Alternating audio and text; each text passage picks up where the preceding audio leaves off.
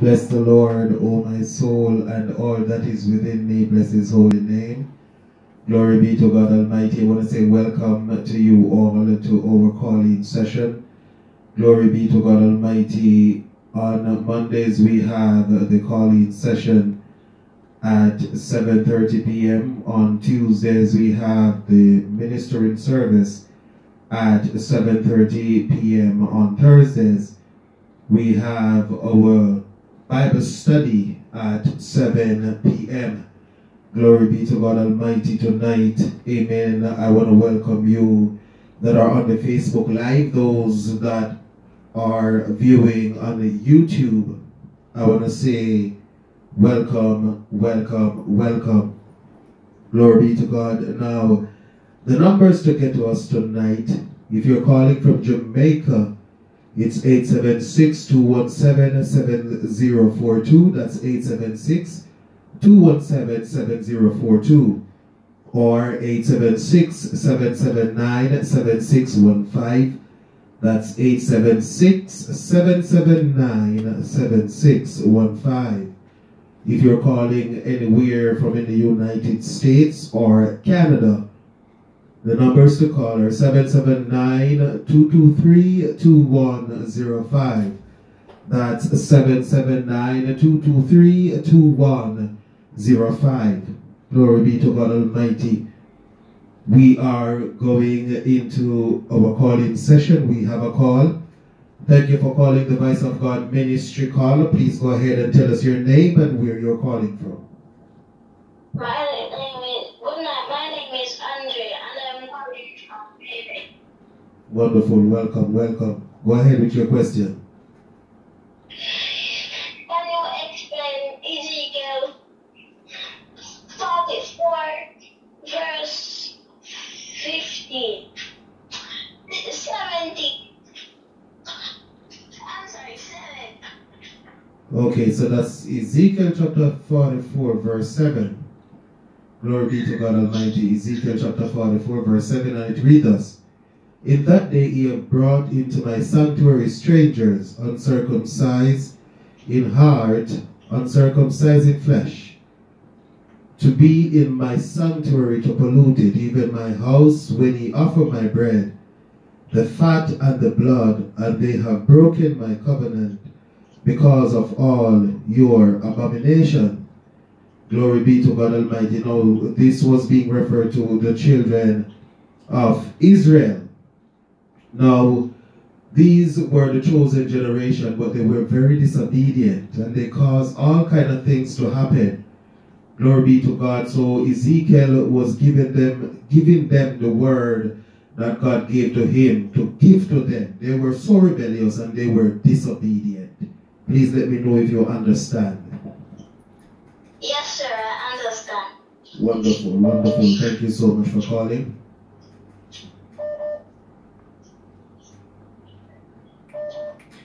We have another call. Thank you so much for calling the Voice of God Ministry. Please go ahead and tell us your name and where you're calling from.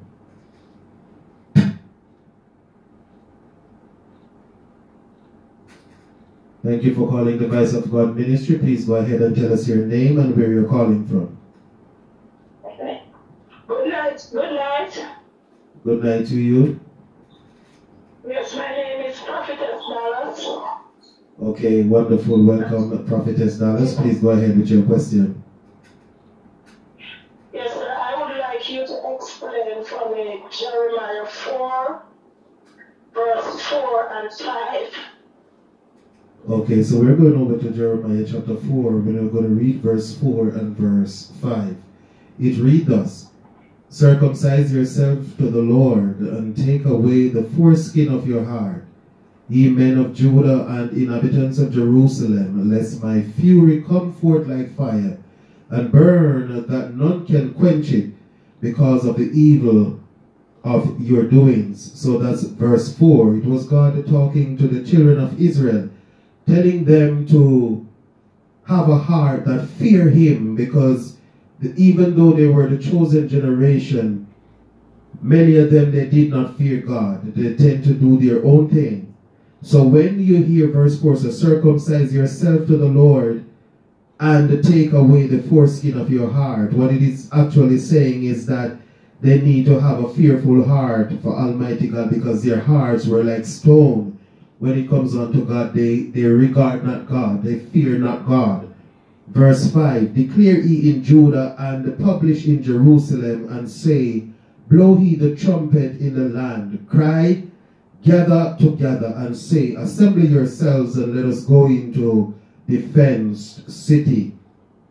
Glory be to God Almighty. Now, this was a warning coming to the children of Israel from God Almighty through Jeremiah. Coming to the children of Israel from God to Jeremiah. Glory be to God for the children of Israel in a nutshell to set their houses in order. Please let me know if you understand. Yes, I do. Wonderful. God bless and keep us and keep up the good work. Wonderful. Thank you so much, Prophetess Dallas. Offer yourself a wonderful evening. You too, sir. God bless you. Glory be to God Almighty. Amen. We have another call. Thank you for calling the Voice of God Ministry. Please go ahead and tell us your name and where you're calling from.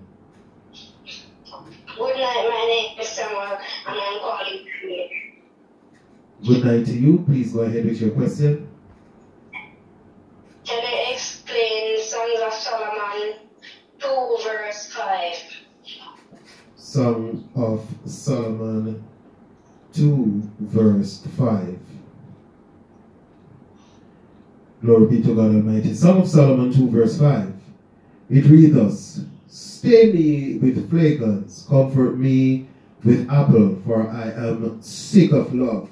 Now, I want to explain something to you. These are actually songs, like love songs, that Solomon was singing. Solomon wrote these songs.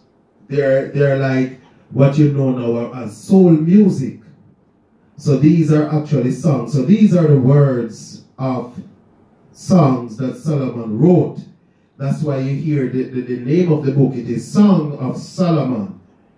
Glory be to God Almighty. So Solomon was writing his words in his song right here. Stay with me. Stay me with flagons rather. Comfort me with apples. For I am sick of love. These were just sung. And these, these uh, wordings are actually symbolic. So this book, and that is why people don't go down into this book. It is very important. Though people don't go down into this book, this is actually song. These are actually songs rather. Just like many sections in Psalms, they are actually songs. Please let me know if you understand. Yes, sir. Thank you. Wonderful. Do continue to read the Bible. God bless you. God bless you. You too, my son. God bless you. Wonderful. Glory be to God Almighty. Amen. So, questions are coming in.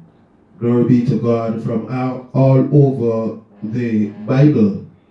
We have another call. Please go ahead and tell us your name, caller, and where you're calling from. My name is Andrea, and I'm calling from Greece. Okay, Andre, go ahead with your question. Can you explain Psalms 95 verse 3?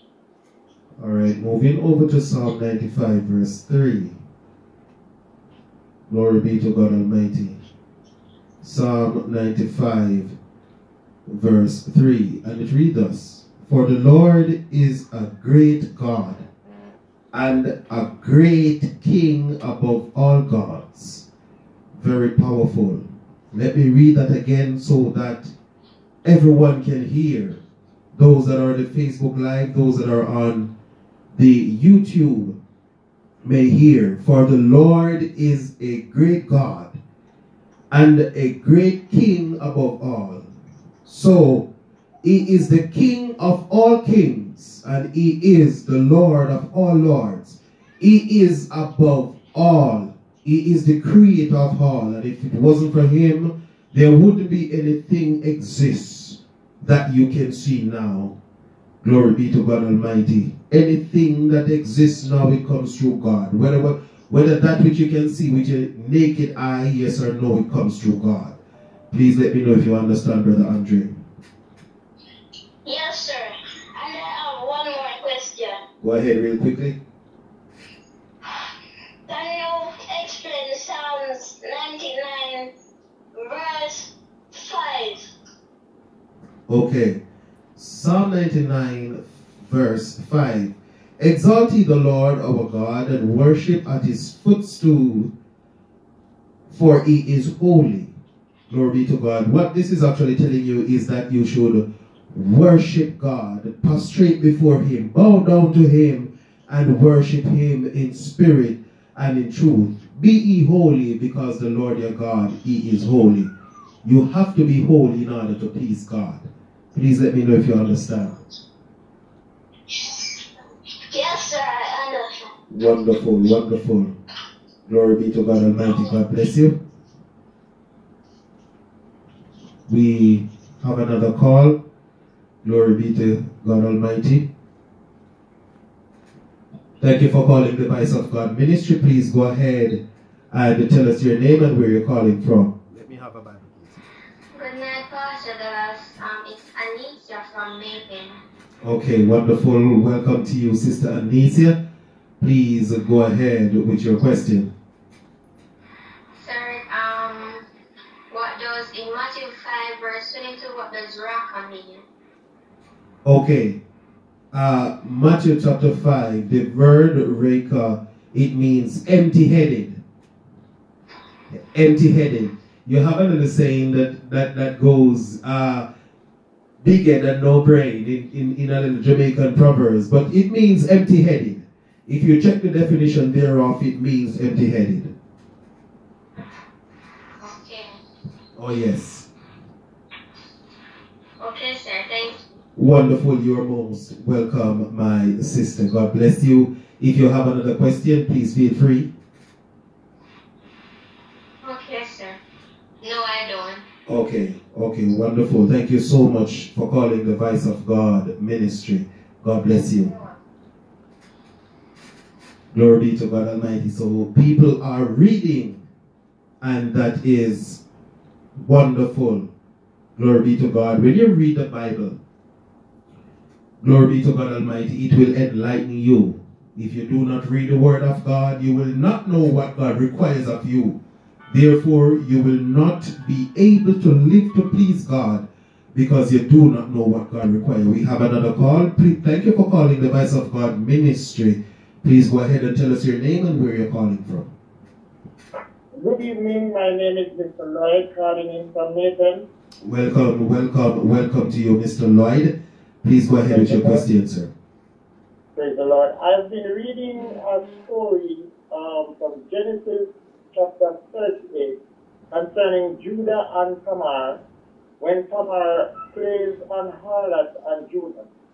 Can you shed a light on that story for me, please? Okay, Okay, real quickly, real quickly. Glory be to God Almighty. Uh, this lady Tamar, Judah gave uh, Tamar to his son Onan and Er just to cut it short. They both died without getting any child with Tamar. So there was a last son by the name of Shelah. Uh, the lady was supposed to get that last son because their custom back then is that if I am the eldest brother and I am married to a woman and I don't get any child with that woman and God forbid and I pass off, then my younger brother should take up that woman. Glory be to God Almighty and raise up a child in my name. So that child would be mine and not necessarily my brother. That's how they would view it. So what really happened is that after the two first son died, the, the father, Judah said to the woman, go back to your household, your parents' household, and I, I will give Shelah to you when he's grown. Now here's fast and Shelah was grown. But when the time come, Judah refrained from giving Shelah to Tamar, saying that peradventure he send out Shelah to Tamar and Shelah died just the same. As we would say, it is like this woman is a crosses. She have bad luck. But what happened is that the woman uh, heard that Judah was going to pass her direction. So she dressed like an harlot. And she caused Judah to come in unto her. And they lay together. And she conceived. Now she asked for a signet and a staff. Because what Judah promised her was a kid. So they would exchange a kid for the lovemaking or the sex. So she got pregnant, and when Judah heard about it over time, then he was saying that he's going to burn her alive, just to cut it short. But the thing that happened is that the woman took the signet and the staff, and Judah recognized that the woman did not go out there and play the harlot and get pregnant, but she went into the same family. Instead of Shelah, he went to their father. So she was still in the family. And at the end of it, Judah began to cry and he said, She is more holy than I am. Glory be to God Almighty. Those who are watching, those who are uh, listening otherwise, you can go and read it over there in Genesis chapter 38 and you will get the full understanding. Please let me know if you understand, Brother Lloyd. Yes, yes, Pastor, I do understand. That's a very interesting story. Oh, yes. And thank is. you so very much for the understanding. May God bless you. Continue to do, keep up the good work. Wonderful. God God bless bless you. God bless you. We have another call. Please go ahead, caller. Tell us your name and where you're calling from. Good night, I am Lisa from Tempe. Please go ahead, Lisa. I would like for you to explain Proverbs 11 and the verse 1 for me. I, I, I heard Proverbs, but I didn't catch everything. We're in Proverbs. 11 and the verse 1. Okay, so we're going over now to Proverbs 11, verse 1. It says, A false balance is, a, an, abomin- is an abomination to the Lord, but a just weight is his delight. Glory be to God Almighty. Now, we're not just narrowing it down to scale, but the thing about it is God love when people are just. When people are fair, you don't compromise. You don't give you don't give amen your your friend the, the, the better part and the person that you're not too into the worse section equal rights and justice for all. That is in a nutshell what it is saying. God love when we split justice equal rights and justice for all. And i would remind you and everyone else that god is no respecter of person and that is how god would want us to do. No favoritism when it come on to christianity no favoritism at all. Please let me know if you understand. Yeah, you understand. Wonderful, wonderful. Glory be to God. If you have another question, please feel free. Yes, I do. Um, the same Proverbs, chapter 12 and verse 1. Moving over to Proverbs chapter 12, verse 1, it says, Whosoever loveth instruction loveth knowledge, but he that hateth reproof is brutish. Glory be to God Almighty. Now, let me tell you something. Whomsoever the Lord loveth, he chasteneth. And if you are a person that will take correction, you will go a far way. But if you do not love correction, you will perish by the way. Reason being, if you're going the wrong direction and correction come and you don't take it, you know that the end thereof is death. But if you take correction, then you might have life and have it more abundantly. Please let me know if you understand. Yes, I understand. Glory be to God Almighty. Thank you so much for calling the Voice of God Ministry and do have for yourself a wonderful evening. Okay, thanks so much. Wonderful, you too. Glory be to God Almighty. Now the calls are coming in behind each other. Glory be to God Almighty. That's a wonderful thing. It tells me that people are reading and people do need to get the understanding of what they read because some people do read but they do not understand. And it makes no sense. You read and you do not understand. Glory be to God Almighty. Uh, reading the Bible is just not calling words because you can pronounce them. But you got to read and you got to understand what you read so that you can live by what you read. James 1.22, not only the hearers of the word, be not only a hearer of the word rather, but a doer also, not deceiving your own self. We have another call. Thank you for calling the Voice of God Ministry. Please go ahead and tell us your name and where you're calling from. Yes, sir. It's Prophetess Dallas again from. Welcome back, Prophetess Dallas. Please go ahead with your question.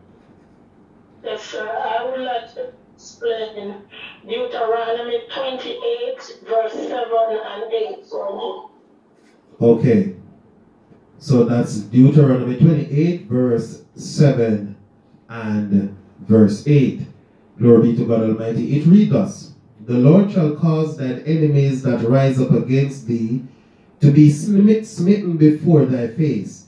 They shall come out against thee one way and flee before thee seven ways. Now, let me tell you something.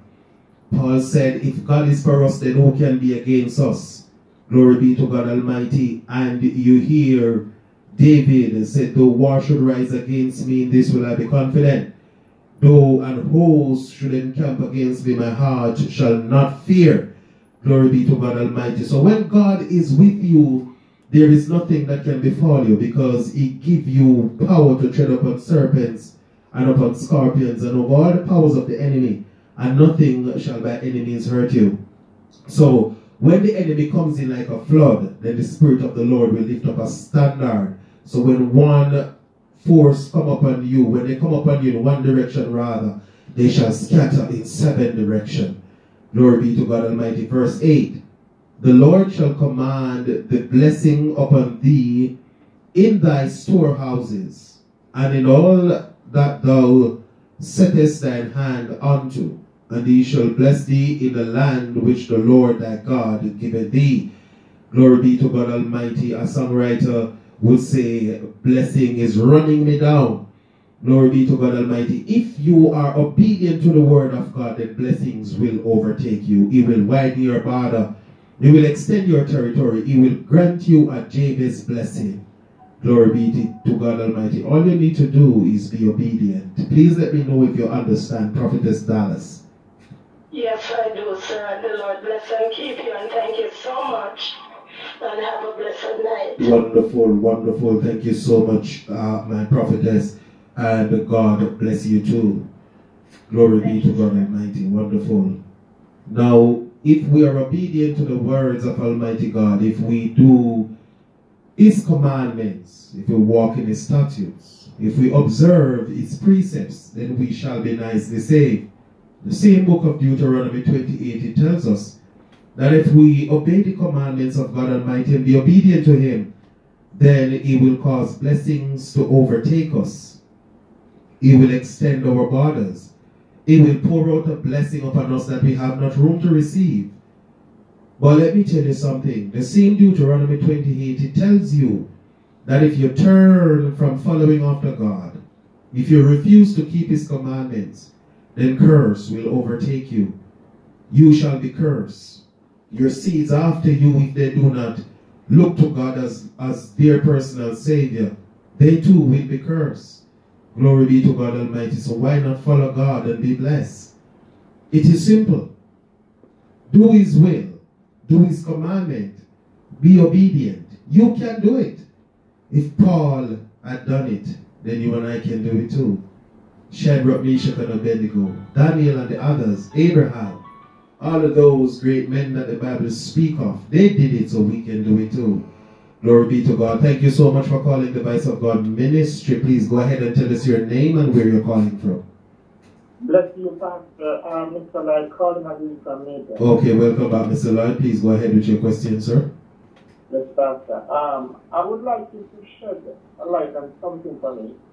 You see, when I look into the churches these days, I saw many people praying, let me say, many women praying with their head, their head uncovered, or preaching with their head uncovered.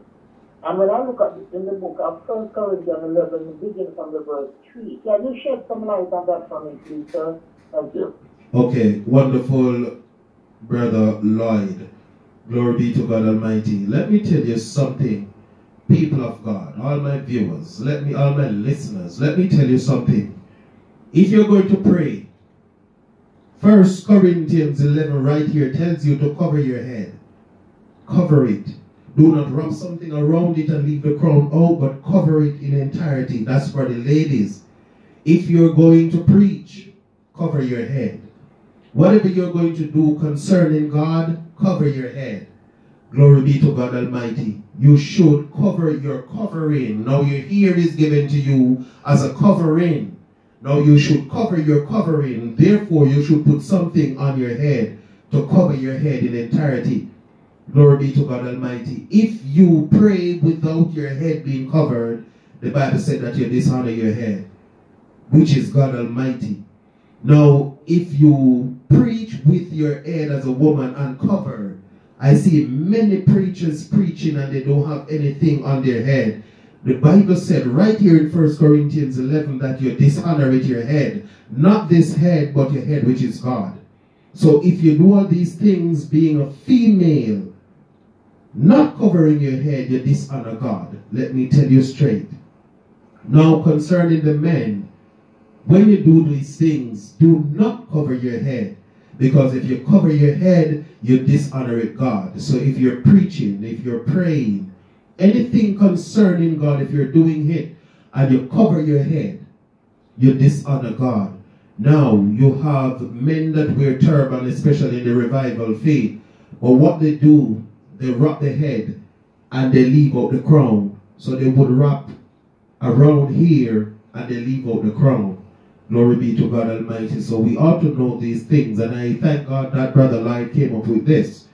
Because too many people have been practicing to do things in the house of God or do things, do the work of God, let me put it like that, with their head being uncovered, being females. A lot of female female preachers. And not many churches enforce this, that your head should be covered. No. If your sin is as small as a mustard seed, you cannot enter. Anything that you do contrary to the word of God, it is a sin.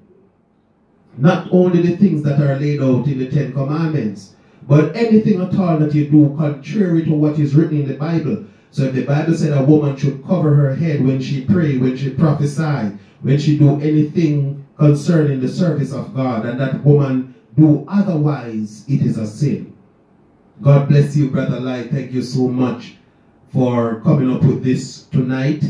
Glory be to God Almighty. I hope and pray that all the ladies out there will take heed. Cover your head whenever you're going to do the service of God Almighty because it is biblical. First Corinthians chapter 11 will tell you about it. God bless you for sharing such light, um, Pastor. God bless I believe, I believe it's because of all these things when Jesus says at his coming that he shall say to many, Depart from me, I never knew you. Oh yes. Oh yes. Very, very, very important. Blessed be the name of Jesus Christ. Because look at this now. When Jesus said, Depart from me, I never knew you. Remember, they will say, Have I not done wonderful works in your name? Have I not prophesied? Have I not cast out demons? So, right there and then you realize that they were actually working with a spirit. Glory be to God Almighty, but it wasn't the Spirit of God because Jesus Christ said, Depart from me, I never, that's the key word in the sentence, I never knew you. And that is why 1 John 4 verse 1 tells us to try the Spirit because not every Spirit is of God. Many false prophets has gone out into the world. Glory be to God Almighty. I wish we had more time to elaborate on this, but you can catch us on Thursday at 7 p.m. in Bible study and we can talk more on it. Bless you, bless you, Pastor. I pray that the Lord will continue to bless you with his wisdom. Continue to live for Jesus.